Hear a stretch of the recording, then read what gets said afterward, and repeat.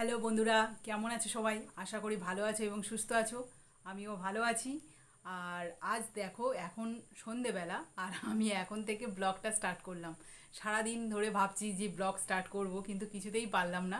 একটু শরীরটা সমস্যা মানে প্রবলেম দেখা দিচ্ছিল। আর এই সময় জানো তো সব রকম মানে প্রবলেমটা একটু হয়। তো সেই জন্য আমি ব্লগটা স্টার্ট করিনি, তো সন্ধেবেলা ভাবলাম, না, আর ভালো লাগছে না বসে বসে। তো ব্লগটা স্টার্ট করে দিই। আর দেখলে আমি দেখো চুলটা বেঁধে নিয়েছি রাত্রেবেলা। আমি চুলটা মানে সারাদিন যেভাবেই থাকুক আমার চুল, কিন্তু রাত্রেবেলা আমি চুলটা বেঁধে নিই। কারণ কোনোভাবে যাতে না ফাটে মানে ডোগাগুলো, চুলের ডোগাগুলো যাতে না ফাটে, তার জন্য বেঁধেই রেখে দিলে একদম ঠিকঠাক কোনো রকম সমস্যা নেই। তো যাই হোক, আমার আগের ভিডিওতে তোমাদের দেখিয়েছি যে আমরা রান্না পুজোয় কেমনভাবে কাটিয়েছি এবং আমাদের বাড়ির যে রিচুয়ালগুলো সেগুলো তোমাদের দেখিয়েছি। তো তোমাদের বাড়ির কী কী রিচুয়াল আছে সেটাও অবশ্যই কিন্তু আমাকে কমেন্ট করে জানাবে।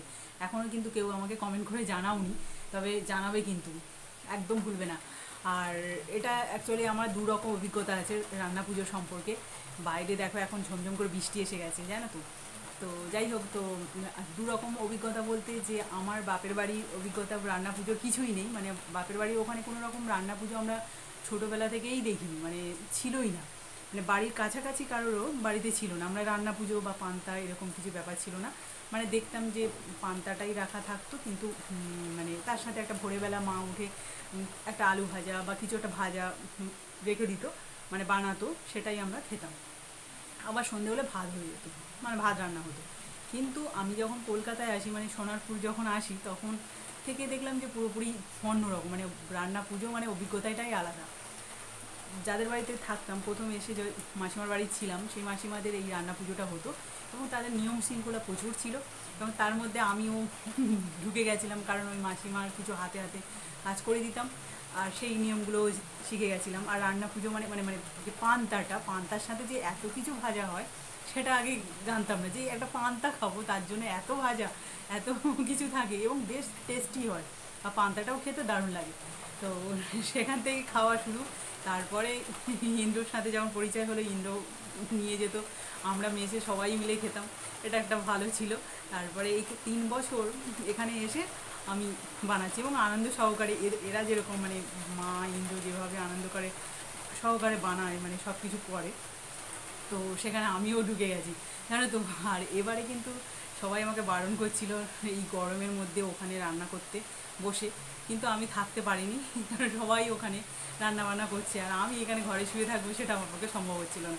সেই জন্য আমি ওখানে মানে ইন্দ্র বারবার বগলেও চলে যাচ্ছিলাম। তো যাই হোক, সেটা মানে তিনজনে মিলে করেছিলাম বলে। আবার ইয়াসমিন এসেছিল, ও কিছু আমাদের রাতের খাবার রান্না করেও ছিল। তো আমরা তিনজন যখন মানে রান্না পুজোর মেন জিনিসগুলো যখন রান্না করতে মানে করেছিলাম তাতে করে আমাদের খুব তাড়াতাড়ি রান্না হয়ে গেছিল। মানে বারোটা, সাড়ে এগারোটার মধ্যে কমপ্লিট হয়ে গেছে। মানে কোনো বাড়ি সাড়ে এগারোটা এরকমভাবে কমপ্লিট হয়নি। কারণ আমার তিনটে উনুন দিয়ে তোমরা দেখলে, যেভাবে জ্বালিয়ে দিয়ে মানে একসাথে হয়ে গেছে। ভীষণ আনন্দ মানে কষ্ট হলেও আনন্দ হয়েছে। তো যাই হোক, আমরা এইভাবে রান্না পুজোটা কমপ্লিট করেছি।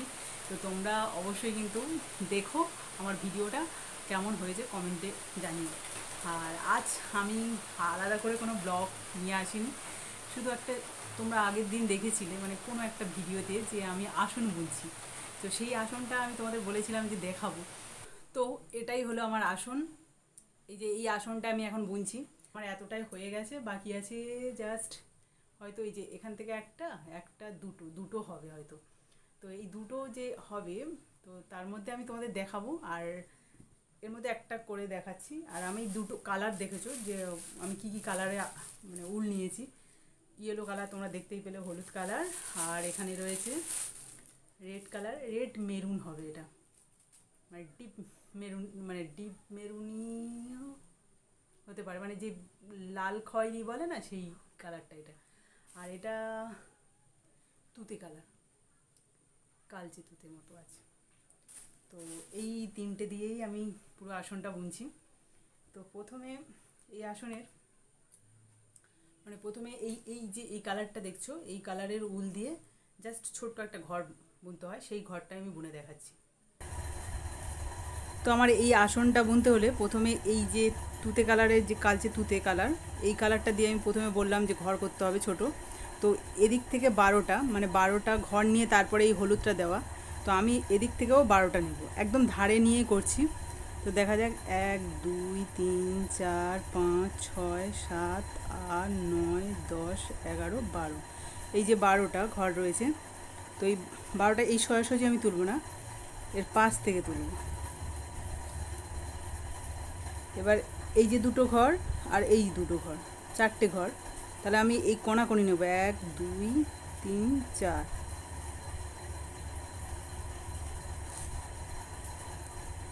এবার এই চারটে ঘর থেকে এই চারটে ঘরে গেলাম। তারপর ক্রস করব। ক্রস করে জাস্ট দুটো ঘরের পরে তুললাম। এপারেও দুটো ঘরের পরে। দিয়ে এদিক থেকে একটা ক্রস হয়ে গেল। এভাবেই প্রত্যেকটা মানে এই ছোটো ছোটো ঘরগুলো এভাবে তৈরি করে নিতে হবে। মেন ঘর। আর এখান থেকেই এই ইয়েলো কালারটা মানে হলুদ কালারের ডিজাইনটা উঠবে। এখানে যে মিডিল অংশটা আছে, এখান থেকেই আমি প্রথমে হলুদ কালারের এই যে উলটা এখানে দিলাম। মানে বারোটা ঘর নিয়েছি। ব্যাস। এবার পরপর কমে আসবে, এক ঘর ঘরে কমে যাবে। এদিক থেকে এক ঘর করে কমে আসবে, আর এদিক থেকেও এক ঘর করে কমে আসবে।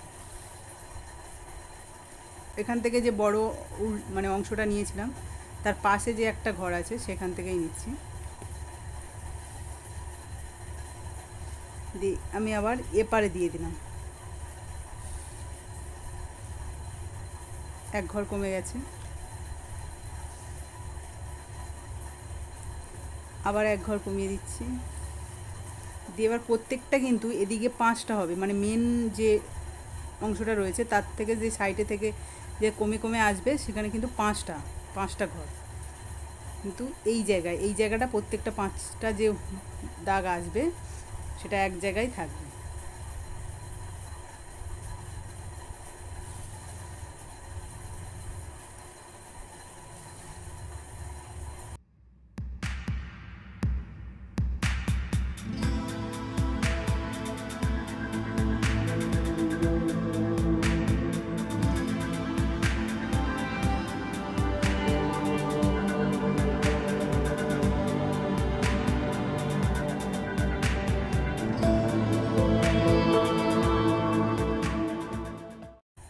এদিকে দেখো আমার পাঁচটা হয়ে গেছে। একটা, দুটো, তিনটে, চারটে, পাঁচটা হয়ে গেছে।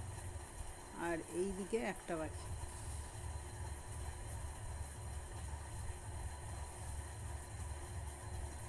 এটা কমপ্লিট হয়ে গেল। দেখো একটা ফুলের আঁকা নিয়েছে মানে ফুলের কুঁড়ি। তাই এদিকটা একদম গায়ে চলে যাবে, একদম ধারে নিয়েছি তো। সেমভাবে এরকম চারটে হবে ফুলের কুঁড়ি। এক দুই তিন চার পাঁচ ছয় সাত আট নয় দশ এগারো বারো।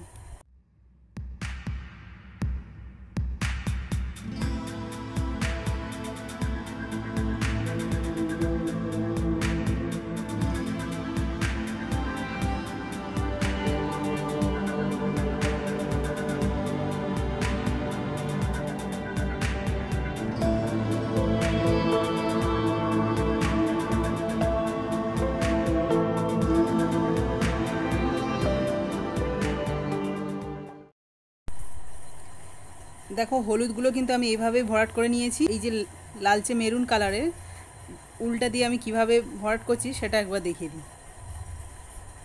তবে এদিক থেকেও মিডিলে আসবে আর এদিক থেকে মিডিলে, আর এদিক থেকেও এদিক থেকেও মানে চারদিক থেকে মিডিলে উল্টা তুলতে হবে প্রথমে।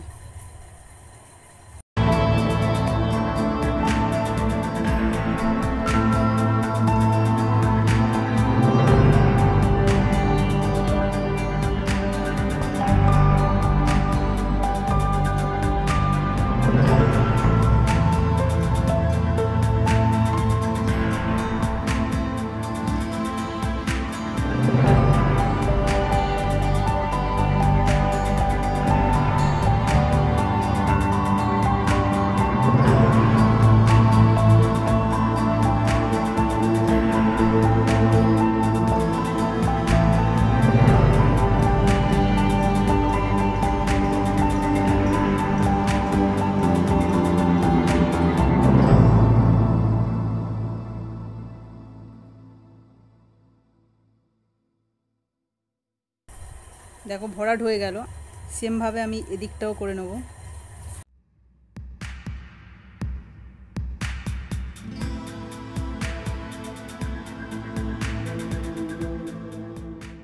হলুদের মধ্যে আমার মেরুন কালারটা কমপ্লিট হয়ে গেল। দেখো ঠিক এইভাবেই আমি প্রত্যেকটা বানিয়েছি। আর নেক্সট যেটা রয়েছে সেটাও আমি এইভাবেই বানাবো। দেখিয়ে দিলাম তোমাদের কীভাবে আমি আসনটা বুনেছি। তো তোমরা বাড়িতে একবার ট্রাই করবে। ডিজাইনটা খুবই ইজি তো কেমন লাগল আমার আসনটা এবং আসনের ডিজাইনটা অবশ্যই কিন্তু কমেন্ট করে জানিও। তো আর একটা কথা শেয়ার করি যে কিছুক্ষণ আগে ঠাকমা এসেছিল। ঠাকমা এসে আমার একটু মিষ্টি দিয়ে গেল। তো তো- তোমাদের দেখাই। দেখাবো কি? কিন্তু মিষ্টিগুলো খাওয়া খাওয়া মানে খাওয়া হয়নি মানে আমি খাইনি। মানে বাবা মাকে দিয়েছিলাম। আসলে এই মিষ্টিটা মানে ঠাকুমা বলল যে অনেক দিন ধরে আমাকে দেওয়ার চেষ্টা করছিল, কিন্তু দিতে পারেনি। তো আজ কাকাকে দিয়ে মানে ছোটকাকে দিয়ে আনিয়েছে। এখানে দেখো, সাত রকম মিষ্টি ছিল, তো সব সব রকম টুকরো টুকরো করে খাওয়া হয়ে গেছে। মানে দিয়েছি বাবাদের, দেওয়ার পরে রয়েছে। আর এবার আমি আর ইন্দ্র, এবার ইন্দ্র এসছে দোকান থেকে, এবার আমি আর ইন্দ্র খাব এগুলো। আর ঠাকুমাকে যাওয়ার সময় বললাম নিয়ে যেতে, কিন্তু ঠাকুমা বলল, নেবে না। তো আজকের মতো টাটা। গুড নাইট তোমরা সবাই ভালো থেকো সুস্থ থেকো।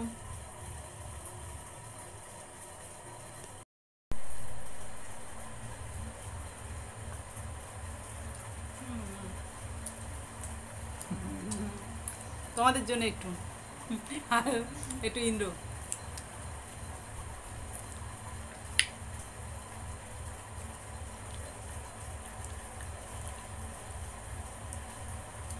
এখানে সাত রকম মিষ্টি আছে প্রত্যেকটা মিষ্টি কিন্তু আমার ফেভারিট জানি না, নাম জানি না কিন্তু সব মিষ্টি। এটা গজা, এটার নাম জানি। আর এটা কি জানি না? রাজভোগ?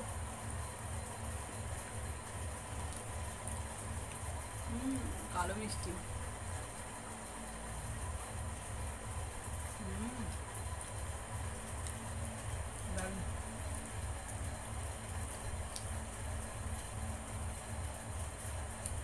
আর এখন খাব না ভাত খাওয়ার পরে।